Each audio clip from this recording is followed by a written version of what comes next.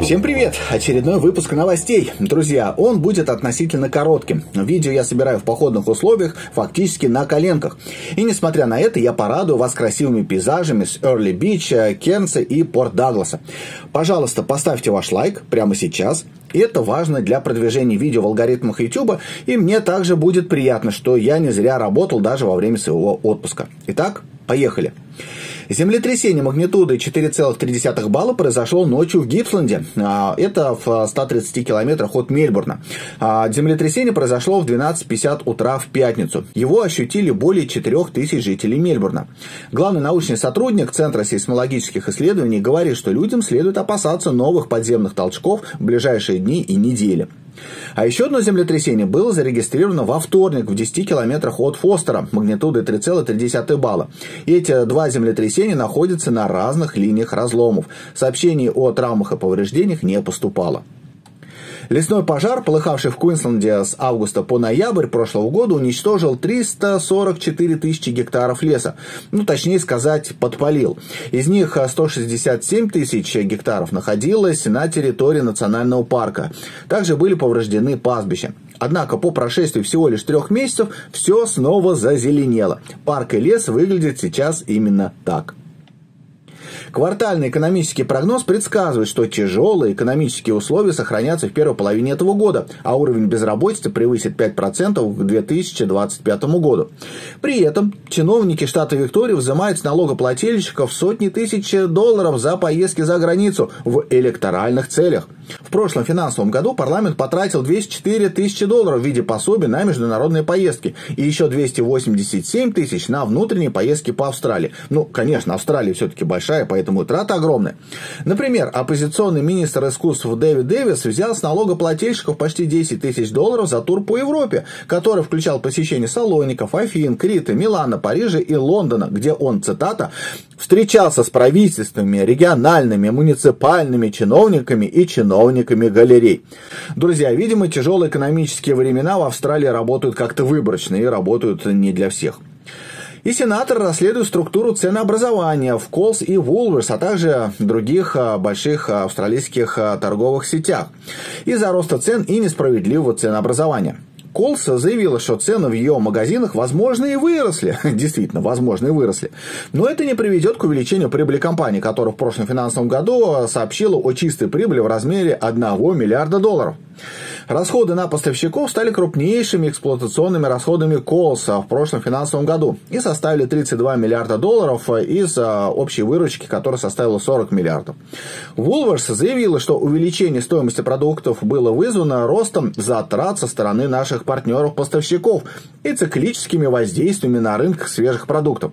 При этом фермеры отказываются работать с этими ритейлерами из-за крайне низких закупочных цен, которые не менялись в течение нескольких лет. В результате в Возят дешевые продукты из Азии, а вот местные фермеры вынуждены закрывать свой бизнес.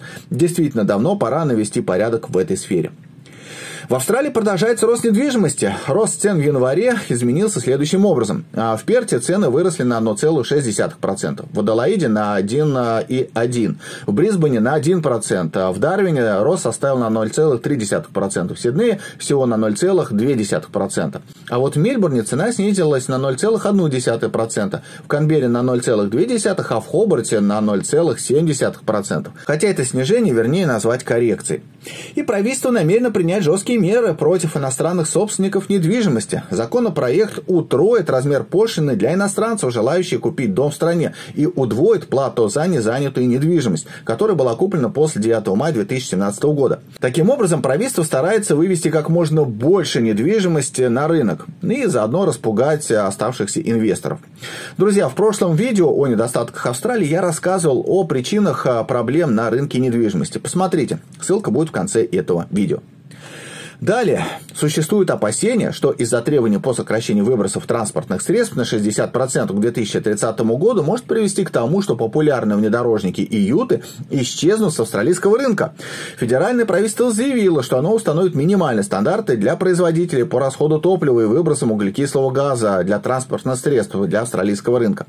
Австралийцы, я полагаю, на тормозах это не спустят, потому что внедорожники – это святое для Ози. А вот средний рост а, цен на новые автомобили в Австралии в течение года составил более 20%, больше, чем средние цифры инфляции. Увеличение стоимости варьировало в зависимости от модели, но самый большой рост, более 25%, а, произошел в секторе малолитражных автомобилей. Печальная статистика. В Австралии ежегодно умирает более 2000 человек от передозировки. Это больше, чем тех, кто погибает на дорогах из аварий. Действительно, очень странно. Самоубийц в Австралии больше, чем жертв от несчастных случаев. И это в обеспеченной стране действительно странно. Немного про Олимпиаду. Все политики Квисленда согласились о нецелесообразности реконструкции стадиона Габа для проведения Олимпийских игр 2032 года, так как проект стоимостью 2,7 миллиарда долларов не рентабелен. Федеральное правительство не собирается субсидировать реконструкцию, а горожане не собираются оплачивать этот проект из своего кармана. И в результате реконструкции будет снесена одна из самых старых школ Брисбена.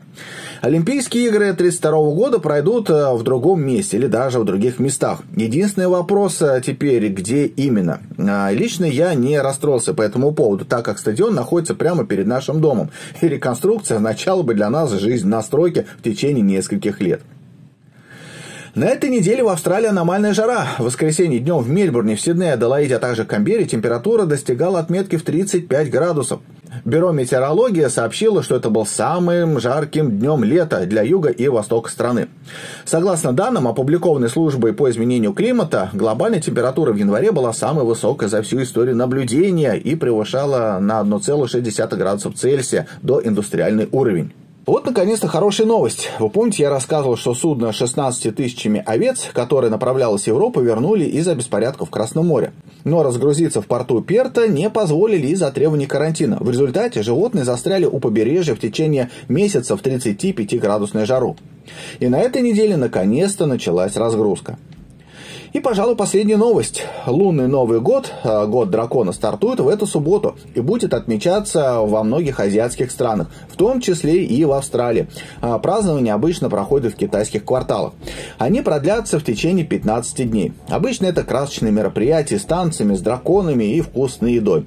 А если вы перейдете по ссылке в описании под видео, то сможете пройти небольшой тест и узнать, насколько вы знаете азиатскую культуру. Друзья, на этом все основные новости. Надеюсь, видеоряд вам понравился понравился, а более подробное сравнение жизни в этих небольших городах будет в одном из следующих видео. Не забывайте о наших телеграм-ресурсах, о нашей группе по иммиграции, о переезде через студенческие программы и о нашем новостном канале. А на моем сайте я размещаю самые важные новости и делюсь своими соображениями.